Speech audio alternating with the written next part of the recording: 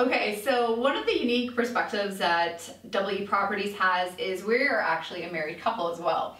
So, as any married couple who works together in a business knows, you definitely have your ups and downs when working together. Mike and I are really, really in this case though. Uh, we're definitely each other's business yin and yang, where everything that Mike loves about real estate and doing business, I hate, and everything that I love, he hates. Mm-hmm. So it works out really well in our case where I love social media, I love legal stuff, I love doing anything online, um, websites, branding, I love that kind of stuff. Mike, on the other hand, loves networking, loves talking to people, loves talking to the mortgage brokers. Personally, I couldn't think of anything worse. Um, but it works out well because being a stay-at-home mom, I have a lot more time to do certain things on the business. Sometimes, yes, I have to hide in the bathroom and lock my kids out to talk to a lawyer. That's fine. That's uh, called working from home with two tiny children. Uh, and Mike gets to do all the things that he loves. So we're really lucky in this case where it hasn't been too bad to work with each other right now. However, that's definitely not how we started. Way back when we first started real estate, I hated real estate, like blatantly hated real estate. And I think a lot of that had to do with Mike and I are best friends. We know how to communicate as spouse, mm-hmm. but we never learned how to communicate as business partners. For what I needed to have a business, what I needed to know, and what I need to be successful in a business, he did not know. And unfortunately, it was definitely a good three-year learning curve. I think Big so. Learning curve. Part of working together means understanding what the other person wants, and that's a part of a good any negotiation too, and understanding what your strengths are and what your weaknesses are. Like for me, it's like what Jenn was saying. She hates talking with mortgage brokers and agents and trying to negotiate terms and yeah. find products that we like and deal with the numbers. We'll get off on the phone. We used to do these calls together and Jenn would be completely drained after the conversation. I talked to our mortgage broker for an hour with strategizing where and what we wanted to achieve, and I'm completely lit up. It could be oh, late at night. he'll talk to one o'clock in the morning if you're lucky. But that inspired me because, brokers for Jenn, numbers. it stressed her out in the sense yes. that I like to sleep. There's always something to be lost. What if it doesn't come together? What if? What if? And for me, I'm looking at this saying, hey, you know what? Maybe it's not perfect, but we're still progressing forward. And for me, that progress completely lit me up. You know, dealing with trades, dealing with contractors I like doing that. Does it like it's rare that everything works out the way you want it to. There's challenges constantly, big ones, little yeah. ones along the way. But I always look at it as that challenges me because I'm moving forward, I'm learning, and anything. I look at problems in the sense that anything that's a problem, anything that goes wrong, it's a system that's not properly put in place. It's a team member that's not pulling their weight.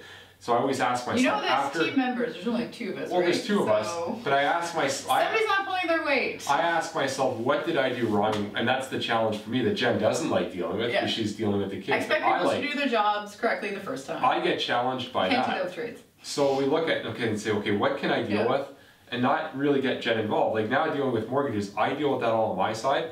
Jenn doesn't need to know everything that happens behind the scene. Jenn no. just wants to know the outcome. Yes, the mortgage is covered. Yes, it's a fair price and the terms are there. I'll deal with all of that because I like dealing with that. I like dealing with the trades. I like more and more dealing with the tenants and the relationships there, going to networking events, shaking hands, putting presentations together, the big picture things, the social aspect behind that, going up and having drinks after these events like that, that lights me up being around the people. Jenn, not so much. It's more you like you know the the process. Like behind the scenes stuff. Behind the scenes things, right? But that took some time to learn what you enjoy in the business because we're at least lucky that there's two of us working on the same business. So we do have the luxury of I only do the things in the business that I actually enjoy mm-hmm. and I feel fulfillment from. And then Mike gets to do the stuff in the business that he loves too. Mm-hmm. And we always kind of joke that Mike's the engine. He's just constant going, going, going. He has great ideas. His vision is so huge and I'm kind of like the brakes, where I'm like, that's a great idea. However, how we considered the following, da, da, da, or uh, he's like, I want to get here, and he has this amazing vision, something I could never come up with. So then, I'm, he, but he doesn't know how to get there. So mm-hmm. I'm good at filling in the blanks, I mean, like, these are the steps we have to do. Here are the stages. Here what we have to implement to get there. So without each other, there was no way I think W properties would have ever gone off the ground. Well, the way I look at it, if it wasn't if it wasn't for my position, we'd still be working for a living and investing in stocks and mutual funds and hoping that we have enough to retire when we're 65 And that completely poured me. But if it wasn't for Jenn and her crossing the I's and dotting the T's and making sure nobody gets sued, making sure we're not getting sued, making sure we don't get bankrupt, saying, no, Mike, how is this? Yes. I want you to represent this. How is I this going need to a work? And presentation. I need a presentation numbers. where the numbers yes, going to work. yeah. Don't just think off of the, you know, the, the deals we made in the beginning worked. But get Jenn's like, get the emotion out of it. Yeah. Frustrated me to death, to be honest, but it made me really sharp in a sense to how do I present this to not only Jenn, Yeah. but other partners in the future and other business people that we want to deal with. So Jenn really sharpened me up, and I didn't have that skill. I had the big picture vision, but I didn't have in the beginning the disciplines and it's sort of left brain mentality to say, okay, let's break down the nitty gritty. How are we actually going to? He's like, let's just do it. I'm like, that's we just have to do it. I had that vision. So working together, and this was refined. we're at real odds when we started. This is a five-year as- process. Yeah, people. as we're able to communicate, I'm, I'm able to put myself in Jenn's shoes to say, okay, what does Jenn want? What and I think Jenn that was our big problem. How do I mitigate the risk for you? we were so focused on what we wanted in the business and Mhm. our personal like wants and needs and fears that we never looked at our partner and said, "Oh my gosh, you have fears and wants and needs too." Mhm. So when Mike was like, "I just want to like make money, quit my job," I had my own fears where I'm like, "Well, according to all our friends and family, we're gonna be bankrupt. We're gonna live in tents on the streets. Um, these kind of th- legit. That was my mother's excuse. Um, so it's one of those things that once he realized what my biggest fear was, he was like, "This is what a mortgage is. This is what a rent is. Mhm. Please notice the difference in prices." I was like, "Oh, okay. We're not gonna live on the street. Fabulous. Let's buy a house." And I think it definitely took us a lot of communication to be like Mhm. thinking about the other person all the time. Be like, what does Mike need? Where does Mike want to be in Mhm. the future? May not be where I want to be, but we're 100% moving in the same direction. And I think a lot of people who are working as a business couple, you have to realize that yes, they're your spouse. Yes, they're in the house with you all the time. Yes, you see them at the dinner table, but you have to treat them like a separate business partner. Where there's times you have to sit down, no kids, not over dinner, not after watching Netflix, but sit down and talk about just the business, run the numbers, do a presentation as if it's not your spouse, do a presentation like you're talking to the CEO of a company. Mm-hmm. Because at the end of the day, it is a business and it is super hard. I'm not saying it's easy to separate business from your marriage life and family life because it all, we 100% talk in the car driving places and the kids are chiming in on their opinions in real estate. Have some interesting ones. Um, but it's like you really have to make that separation, even if it's only once a month, just to check in and be like, hey, here's the list of things I'm supposed to do this month. Here's your list. Where are you at? Where am I at? What needs to change? It's imperative to when you're working with your business partner. One of the things, the mistakes I made in the beginning, and this is what a coach helped us, our real estate coach helped us break down, is the fact that I didn't have a filter. Like, I love talking about real estate, I love the aspects.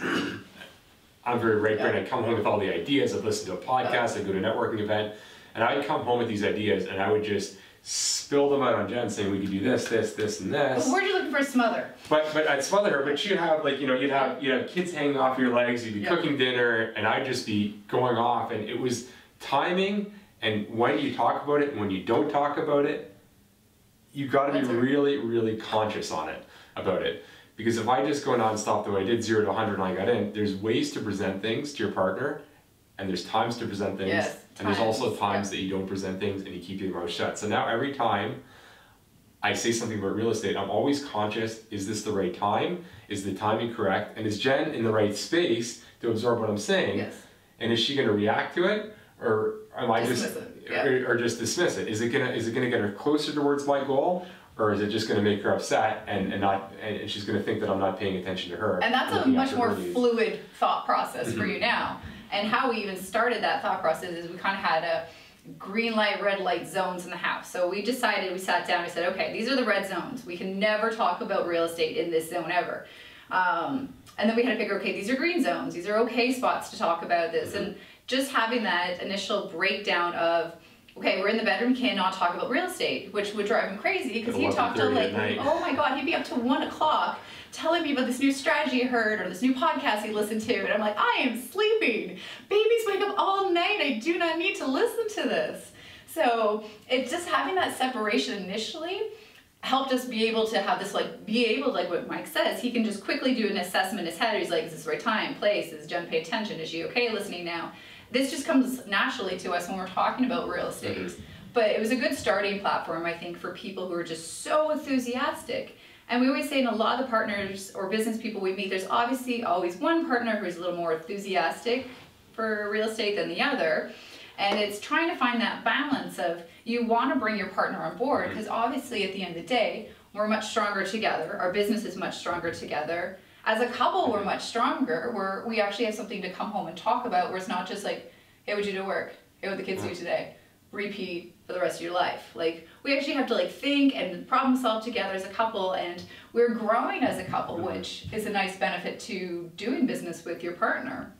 But it's definitely a process. Like, we did not wake up and we were like, match made in heaven and even now, except for when we got married, we're match made in heaven then, obviously. Uh, but working on the business together, we're always trying to change things, and as our business grows and changes, we mm-hmm. need to change um, how we communicate and how we work on things together, or just shifting things in the business around. That's why we always say you have to communicate with your partner and be like, "This is what's happening with the business. What needs to change?" Because if it's I'm talking to Mike, my husband, mm-hmm. it's not going to work as well by any means. Trust me, I know. Been there, done that. Don't do it. Yeah, and I've learned you have to have two different personas. I can be the fun-loving dad or the friend at certain times, but like the business me, that's a different persona. That's like, okay, let's get down to the numbers, let's focus, let's figure out our agenda, what we need to talk about, and what we need to get out. And there's different levels. Like it's one thing if I'm excited about something, yes. I just want to vent a strategy and bounce it off of Jenn. If there's something binding with tenants, an issue with tenants, mortgages, uh, the properties, I need to make sure that I'm in the right state of mind that she is, and I pull her aside. We actually allot time to actually discuss it properly when we come to a solution and address how we're going to take action steps to get there. I've learned I've learned a lot about how we're that's really evolved and that's something we've really been mindful of lately. And Jenn made a good point. How we I mean how we do business and how we've done it in the past is different than how we've done it now and it's going to be different in the future as our kids get older, as our lives change, as our wants and needs change, as our portfolio grows. It's change. always going to be it's always going to be, you know, most something it's always going to be a progress we're always going to be evolving so we have to remember that you cannot get too comfortable in one situation or else there's going to be consequences you're not going to grow maybe it's not growth maybe something else happens you have to be ready to grow and evolve with where your life takes you and your business takes you especially when we start to adopt different strategies that's going to change our lifestyle too as a result of that so we need to be very very mindful of where we are and how we're going to get there and how we're going to change as a couple and grow as a couple one of the things we've done a lot in the last year to two years is we've delegated a lot more tasks. Oh yeah. You know, we've got landscapers, we've got a, a painting crew, we've got handymen, we've got the, the, right agents. You know, we've we've got a bookkeeper. We've we've got enough people now, and we're growing that. And that, that a lot of that happened with the last property we had. We looked at this and said, okay, how can we remove ourselves from the business, focus more on our lives and yeah. growing the business and not working in the business. We're exhausted. It's very easy when you own multiple properties to exhaust all of your time in your business. And it's very easy to say, okay, you know what, I could pick up a mop, I could pick up a hammer and do that better than one of our team members could. But it's it's and, and that's what I suffer from too. We're never get nobody's gonna do it as good as I can do it, or nobody's gonna do it the way I want. And when I was able to realize it doesn't necessarily always have to be perfect the way I want, and I started delegating more tasks and budgeting for those tasks, that allowed me to spend more time with Jenn. Like just the other week, you know, we spent the day at the beach with the girls, and I could have easily said, okay, I'm going to take that time, cut the grass on my property, and do a few repairs on one of the properties that we have on the market for, for tenants. But I decided, you know what, spending time with my family was more important than just saving the money that I could have paid somebody else to do that. And I re I look at that as I'm investing time with my family, and that's somebody that somebody can do, you know, maybe cheaper than what my time is worth, better than what I can do it for, and do it in a more efficient manner than I would be able to do it in. And ultimately, that's why we're doing real estate is to spend time as a family together, mm-hmm. things like that, and. As much as we joke, we're like when we go out for date night, we're like we cannot talk about real estate on date night for any of those guys who are like, day night, real estate, mm-mm, wife's point of view, let me tell you, it is not the same. You cannot do that. Yeah. So it's nice to um, be able to like take the time to be a couple sometimes because I know it's so easy to let the business overwhelm you and just be fluid in everything you do and talk about. But it's nice, like you said, to take these times away, whether you're going out as a couple, whether you're taking mm-hmm. the kids somewhere as a family trip. Um, as I said, the whole point of doing real estate is for this family time. Mm-hmm. The whole point of doing real estate is so you don't have to work for somebody else and, Yeah. and work for a check. And as we've been able to remove ourselves more or less from the business and put policies and processes in place and Yeah. make it a lot more, just make it a lot more, a lot more automated. That's given us the time and the incentive to do more of it. Because I used to exhaust myself and spend too much time doing tasks that didn't give me the right return on my time or what my time was worth. So as I've been able to remove myself from those tasks, spend more time with Jenn, Jenn is able to see the result that real estate has brought us a lot more than when I was just running around It's not like trying to do everything Mike myself. is trying to give me a second job while I already have two tiny jobs. No, and, and, and being like it's a big Yeah. balancing act. I mean, it's never perfect. You know, being a dad, being a You'll want to husband. smother him at some point for sure. 100%. Totally normal. Just just for us realizing that just being busy in your business does not equal productivity. Having a to-do list and doing the four things and crossing them off on a property, but not tackling that fifth thing that's going to land you the next big deal or the next big investor. That's the important thing we want to focus on. So those four things, I'll delegate. Well, I'll I'll focus on number five that I need to. Delegate the number four and have the time to invest in what we need to invest in, and then live the lifestyle that we desire. And that that's helped us a lot. Yeah. I'd say, right? Well, thanks so much for listening, guys, today. Uh, if you guys have any questions about new builds, renting, having a business with your spouse, trying to invest with small children at home, please contact us. We have a website. It's double E properties.ca. Our email address is double E properties at gmail.com. We're also on Instagram and Facebook and YouTube under double E properties. Those uh, social media ones are the best ones to follow us, see what we're doing behind the scenes, what we're going to be getting up to, how we use our children in the business, um, and just currently what we're doing with our portfolio. So we'd love to hear from you guys if you have any questions. Bye. Take care.